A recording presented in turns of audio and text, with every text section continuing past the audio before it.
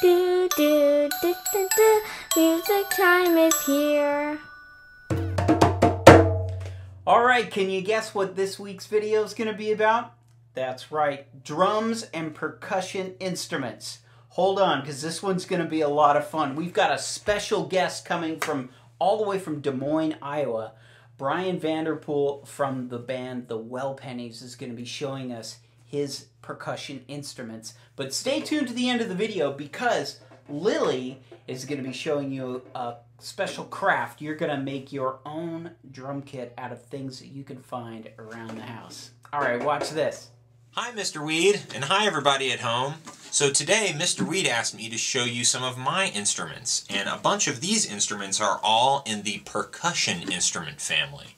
And a percussion instrument is any kind of instrument that you hit with a stick, or a mallet, or even your hands to create a sound.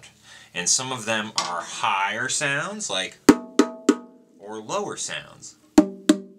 And these instruments are called bongos, and they are are made. Th those sounds are made by stretching this thick piece of plastic over the top of a cylinder like this. And then the tighter you stretch it, the higher the sound is. So like this one is stretched really tight, and it has a high sound, and this one is a little looser, and so you have a lower sound. So you hear that? So it's high, then low. So those are called bongos. Next I wanted to show you my favorite percussion instrument, and that is this. This is a drum set.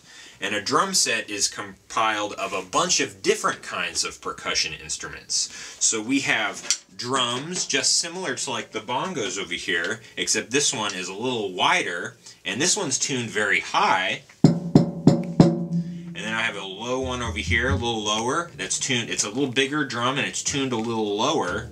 So and then the big one on the bottom, this is called a bass drum, and it's tuned really, really low. Hear that? So we got high, then the next one a little bit lower, and then really low.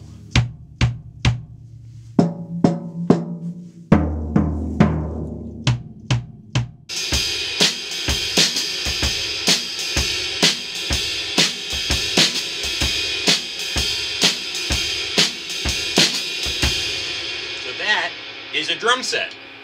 There we go.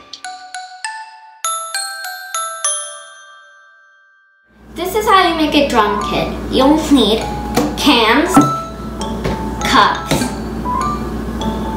corks for the mallet, skewers for the mallet, colorful balloons, and scissors.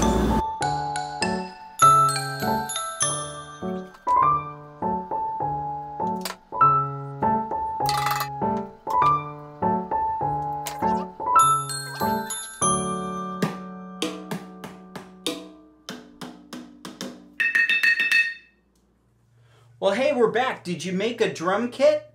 Let's see Lily's here. There we go. And you notice she's got the band name on the kick drum. Hey, can you come up with a cool band name for your drum kit? Go ahead and put it on there and maybe take a picture of it and send it to your teacher. All right. Bye.